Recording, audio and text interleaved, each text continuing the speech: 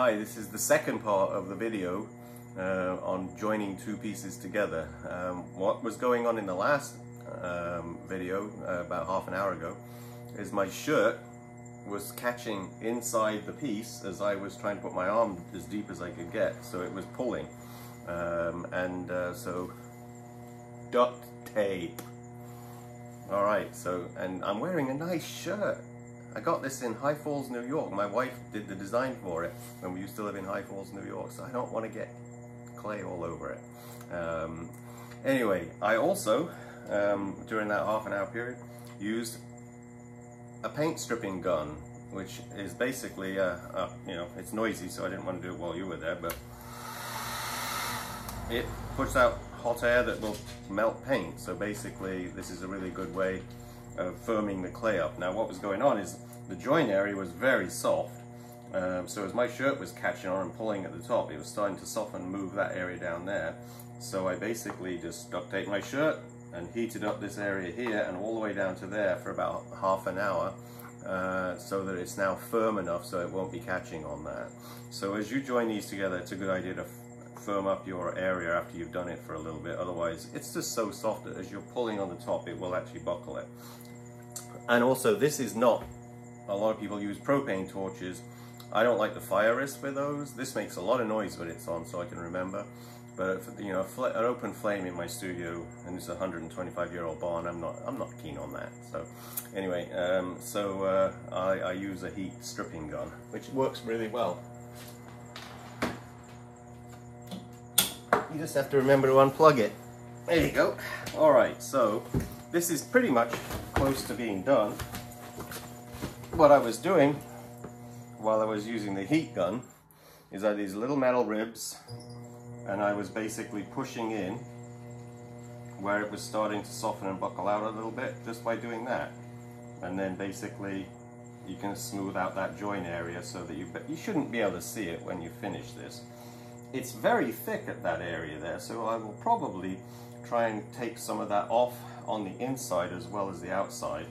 Just because of firing, you want to make sure your piece is heating up evenly, and this would take longer to heat up than say here or here.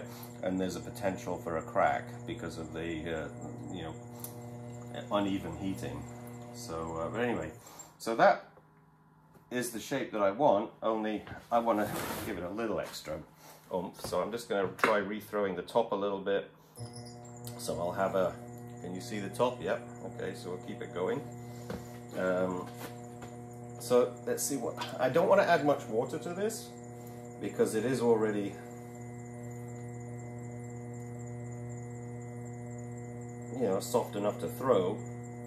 Water is a lubricant, so it enables you to glide over the surface of the clay but look, I'm not using water. And I'm gliding over the surface of the clay. Why is that? Well, it's even. It's soft clay. It's evenly moist. And I'm able to throw and get a little extra height of this. And this is why it's important that you firmed up that join area because obviously with no water you're dragging the clay a little bit. And see how I lifted my thumbs together there? I feel like when my thumbs are touching, I get a little extra control.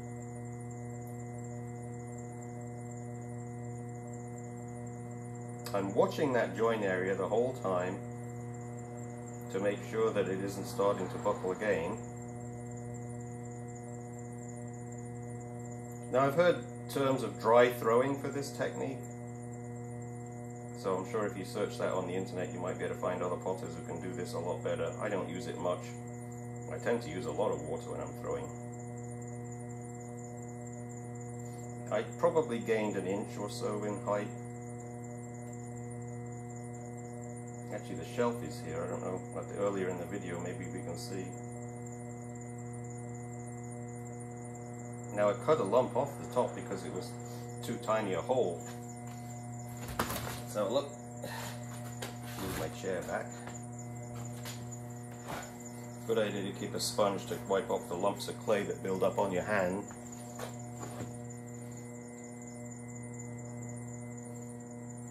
Now it's wide enough at the Might be able to reach down there and push that one wall out a little bit that was underneath the join area. Don't want to change the shape too much though.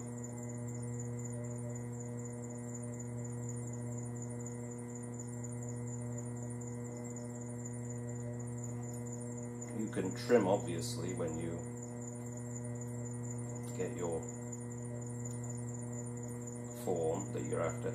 Now these are going outside, so they'll have to take a little bit of um, bird poop and the occasional hailstorm maybe.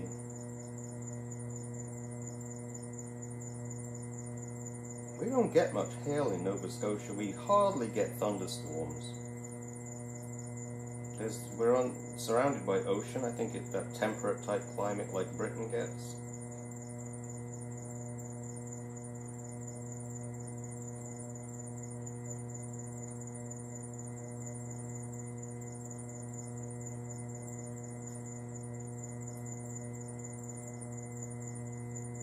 So I'm getting up there now. I, I know I'm getting a little extra height.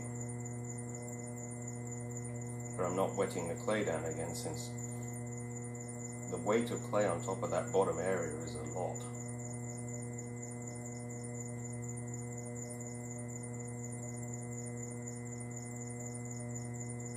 And also because it's an outdoor piece, you don't want it thin because it should be able to take a little bit of now I'm going to widen the top here so the bird bath bowl will actually fit on a fairly securely. I'm going to need my pin in a second to trim off. And you also don't want this thin. Okay, let's trim this off. That's the top area.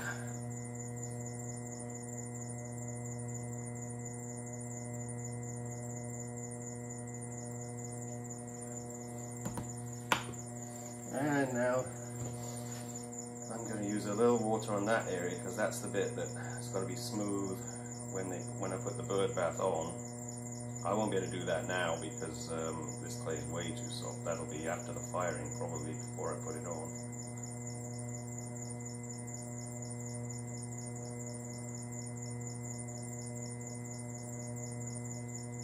I might even use plumber's putty when you put the bird bath on to soften the contact area of where the big ball is sitting on top, which would, plumber's putty never totally dries.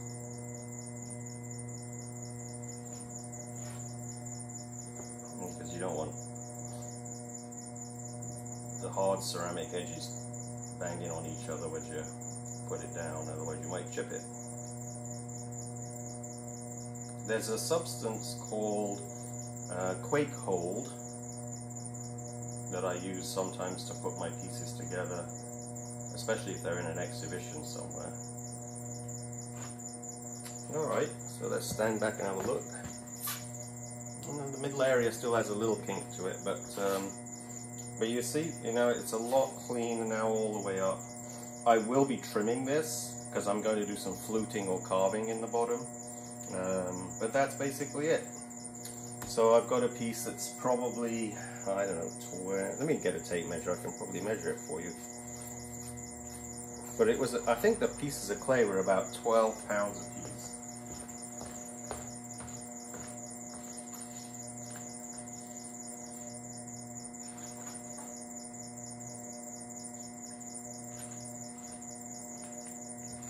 Well, I don't have a tape measure handy, so I can't help. I'll measure it later and post it on there in the comments. Uh, so, I haven't posted much this summer because of the tourist season, um, because we get interrupted a lot. Um, but it's September and then October, now it's quietening down. It's a really good color time, you know, trees are beautiful this time of year, of course. Um, so, if you're in Nova Scotia, stop by. Uh, we're on the South Shore, right on Highway 331, which is the lighthouse route, because as you're driving along there, are lighthouse out all the way along. Um, and uh, it's right on the ocean. It's beautiful drive along here. Hopefully the pandemic's over, a lot of you can come visit, all right? So, uh, Vaughan Smith, uh, my website's westcoastbellpottery.ca. You can check me up on Facebook just by putting in Vaughan L. Smith Potter, I guess that will find me. Uh, post lots of photographs on Facebook and a video of my gallery. Um, so uh, just uh, You know, take care of yourselves and have a great fall. Bye.